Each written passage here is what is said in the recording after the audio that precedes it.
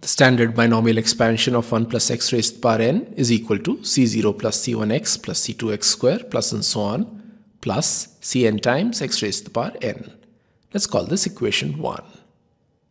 Now replace x with 1 upon x in equation 1. We get 1 plus 1 upon x whole raised to the power n is equal to c0 plus c1 upon x plus c2 upon x square plus and so on plus cn upon x raised to the power n. Let's call this equation 2. Now multiplying equations 1 and 2, we get on the left hand side 1 plus x raised to the power n plus 1 plus 1 upon x raised to the power n is equal to in brackets c0 plus c1x plus c2x square plus and so on plus cn times x raised to the power n multiplied by in brackets c0 plus c1 upon x plus c2 upon x square plus and so on plus Cn upon x raised to the power n. Now the left hand side can be written as 1 plus x whole raised to the power n multiplied by 1 plus x whole raised to the power n divided by x raised to the power n and this is equal to 1 plus x whole raised to the power 2n divided by x raised to the power n. Now on the right hand side, the coefficient of the constant term is obtained by multiplying the first term in the first bracket with the first term in the second bracket resulting in c0 square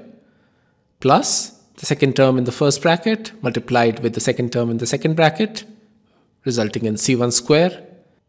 plus and so on and the last term is obtained by multiplying the last term in the first bracket with the last term of the second bracket resulting in cn square. The coefficient of the constant term on the left hand side which is 1 plus x whole raised to the power 2n divided by x raised to the power n will be equal to the coefficient of x raised to the power n